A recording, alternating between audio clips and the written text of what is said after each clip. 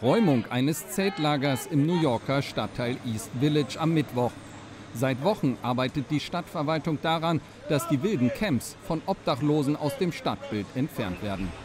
Bürgermeister Eric Adams, der seit November im Amt ist, hat zum Ziel, den Menschen in der Millionenmetropole bessere Lebensbedingungen anzubieten.